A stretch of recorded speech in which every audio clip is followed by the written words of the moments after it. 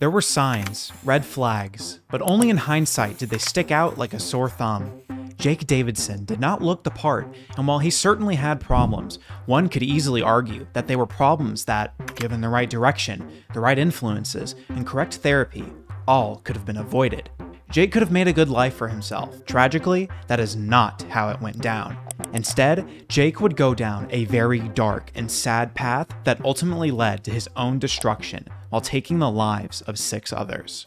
Before we hop into the video, I just wanted to let you know to keep going. No matter what you're going through, I assure you that it's valid. Don't downplay your situation because other people may have it worse off. There is a better tomorrow on the horizon. Keep going. But anyway, ladies and gentlemen, enough of my blabbering. Let's hop in today's video. This video is sponsored by MD Hair. Due to my long hair, I am always in the market for something that could help add some extra thickness or maybe give me some volume that I wasn't exactly getting before. Luckily, MD Hair was here to help me, so let's talk about how they can help you. MD Hair is a company that offers personalized hair regrowth products specifically catered to your needs. MD Hair's uniqueness lies predominantly in its customization. They don't give you just some random product and cross their fingers. MD Hair's AI technology analyzes each person's quiz results and scalp photos to give a customized treatment kit with the right ingredients according to their personal needs. And the best part is, you can track your hair regrowth progress over time by uploading a picture of your scalp after taking the quiz on the MD Hair website.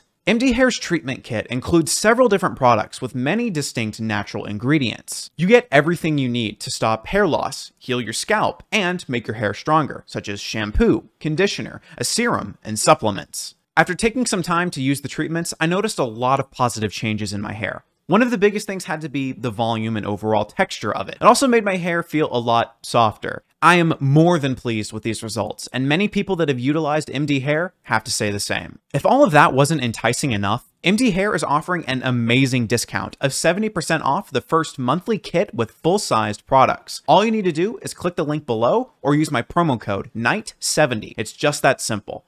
Thank you once again, MD Hair, for sponsoring this video. Jake's background and upbringing. Jake was born in Plymouth and was brought up with his older siblings, Zoe and Josh. Mark Davison, his father, was a fisherman, and Maxine Davison, his mother, was a trawler. In Jake's younger years, he would spend time on Shetland Island with relatives. During the holidays, Jakes would often visit his uncle Terry, who lived on the island as well. Jake would comment that he had a rough background, living in government housing, and with no car, Jake considered his life poor, with no opportunities ahead. His parents were divorced and his father had a long history of violence and criminal activity.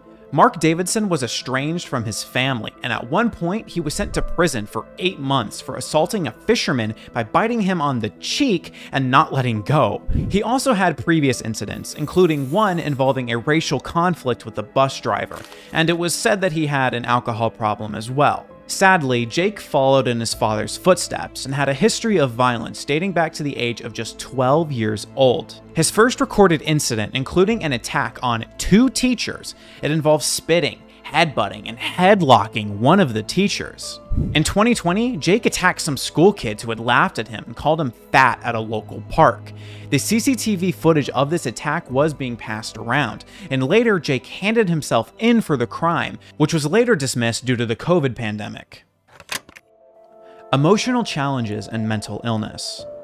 Jake had a form of autism and suffered from mental illnesses. His father was aware of his problems and sought some type of assistance. Unfortunately, though, their request was ignored, resulting in futile efforts. This meant that Jake's mental illnesses went undiagnosed and untreated. During the COVID pandemic, Jake would find his isolation overwhelming, and he very openly discussed this on the social media platform Reddit. Jake, who is 22 years old now, expressed deep frustration and felt that no matter how hard he tried, he was going nowhere, and felt physically that there was something wrong. He mentions that he thought he had some sort of radiation or chemical that had altered and damaged his blood, and made him feel like he had aged 30 years in the last two years. Others in the comments encouraged Jake to just push through it because he was so young and he had the rest of his life ahead of him. In another post, Jake said that he felt better. He still battled with some things, but it was getting easier. Jake said that he had no real friends after school and had no social circles. He stated that he mostly worked in male-dominated environments, making it difficult to meet new people, specifically women. The Downward Spiral. Jake had an apprentice job with a security company for about two years and then became a part of the incel community on social media. For those who do not know what an incel is, it's basically a community of mostly men who cannot attract women for whatever reason. Incels often come across as aggressive to both men and women who are attractive and sexually active.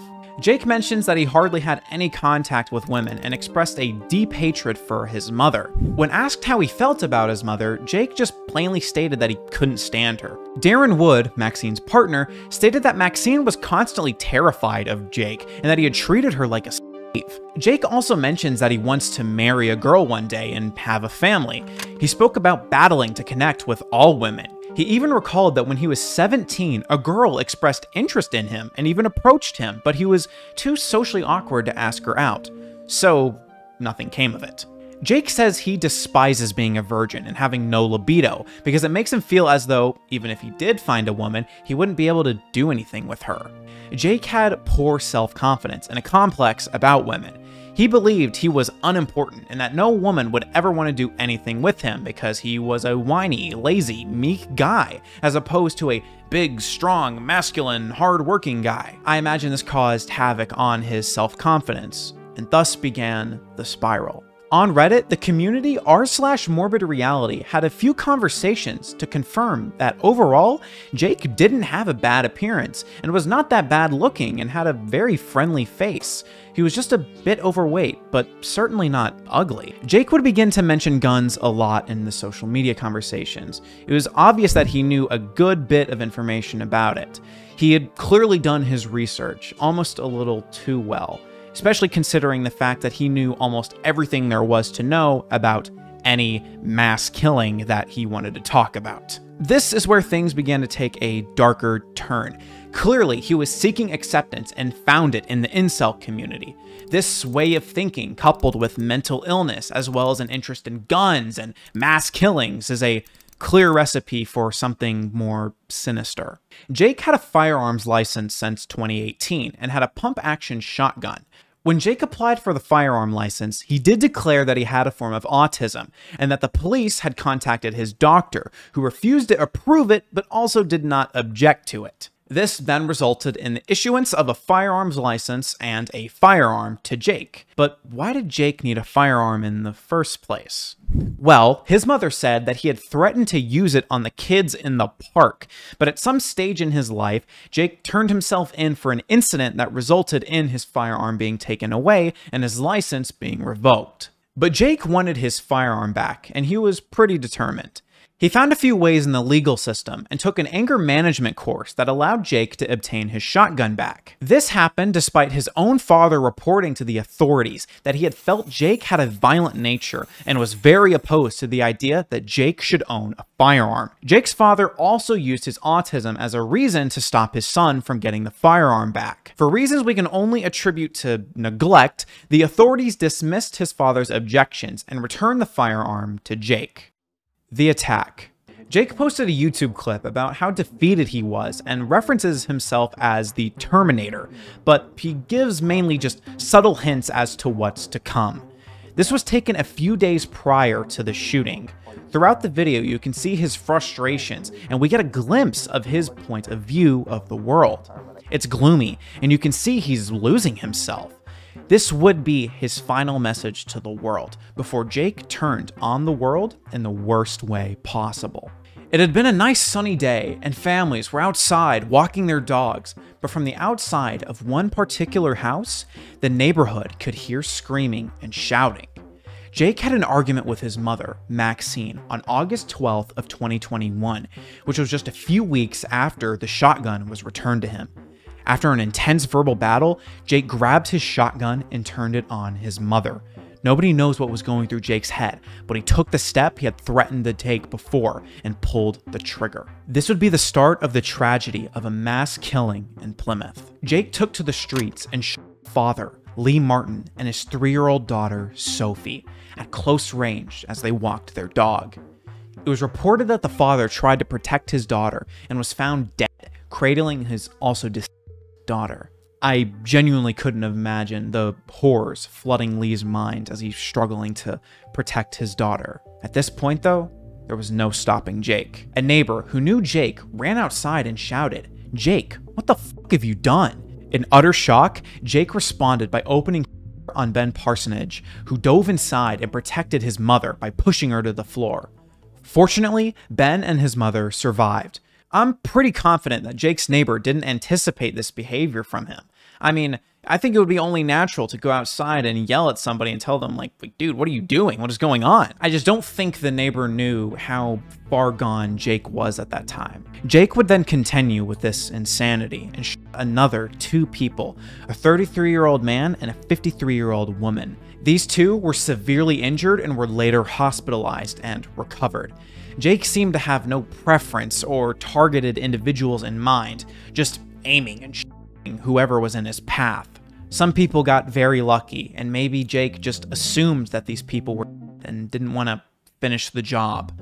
I'm sure that there were screams from every corner witnessing this horror.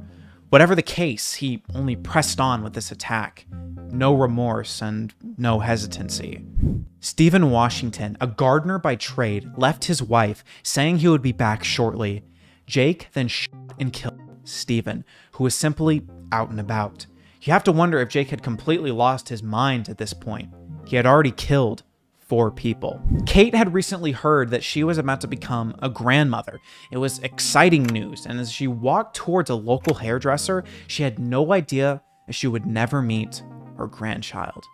Jake stepped into her street and took Kate Shepherd's life. Kate Shepherd would be the final victim in this tragedy. Although Jake did not kill anyone else, he did threaten to kill others in the streets. It makes me wonder if Jake knew that he would end up dead. Was that his intention the whole time? In 12 minutes, Jake had taken five lives, and after 10 minutes of taking his last victim, Jake turned the weapon on himself. Questions regarding the case. So many questions remain unanswered about Jake's thoughts. Jake's father said he had warned Maxine to minimize what Jake was taking in online because of Jake's autism. He felt that Jake's ability to soak up information might be detrimental to Jake. Maxine would ignore this request. Because Jake was an avid Reddit user who voiced his issues and thoughts on the platform, when this story hit the news cycle, there was a lot to be said about how evil his actions were. One user expressed concern that he didn't appear to be someone who could do this, and that his Facebook was a mess, but didn't reflect anything too alarming. Another user said that he knew a lot of people and wasn't as isolated as the media made him out to be. In a thread relating to the mass killing, many agreed that the incel community only fed into what was his downfall. His lack of self-confidence and the aggressiveness of this point of view only pushed an already fragile mind to act in such a heinous manner. Later, there was an investigation into why Jake was given his firearm back. Jake's father expressed deep regret and sorrow for the families of the deceased and stated unequivocally that he opposed the reinstatement of Jake's firearm. It was also brought up that since the firearm was revoked, why was it returned to Jake when he had clearly had a problem with violence already? Why did Jake even need a firearm to begin with? The police ultimately offered an apology and admitted that the firearm should not have been given back to Jake. The police would discover 57 files on Jake's computer that contained unacceptable content. One of the unacceptable files that Jake had watched was Elliot Rodger, who had injured 14 people and killed six by either stabbing or shooting them and then ended his own life. He had sent a lengthy document with the ending, I am the good guy in all of this, to a select few just before the incident. The incel community initially sainted Jake as well, but many in the community were opposed to the killing of a child.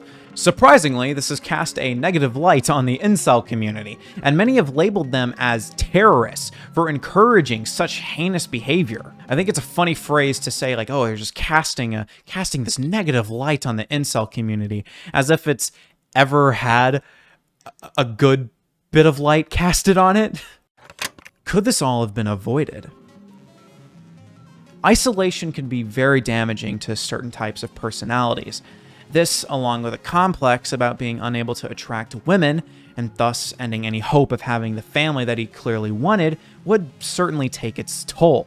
In a world full of negativity, and as much as Reddit users encouraged him, he really needed proper therapy to equip him how to deal with these concerns and worries. I imagine that with the right guidance and maybe a support group of positive natured individuals, this could have opened doors to healthy relationships and friendships. Honestly, all of this could have been avoided if the authorities had taken his family's concerns to heart. They sought help but were ignored. Again, we don't know how vigilant they were in seeking help, but it was initiated. Overall, this is a tragic story of a man who selfishly took the lives of five people and left five whole families to grieve. This man's actions were nothing short of evil. The families of the loved ones have pursued a case against the police for negligence in giving Jake the firearm back, and we can only hope that we learn from this and take mental illness very seriously. This entire situation is tragic, and I do hope that the family eventually comes to terms with the loss of their loved ones and are able to move on.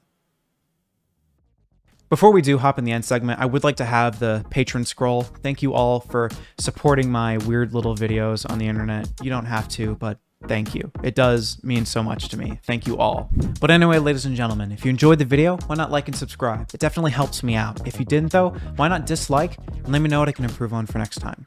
But anyway, ladies and gentlemen, I'll see you on the next one.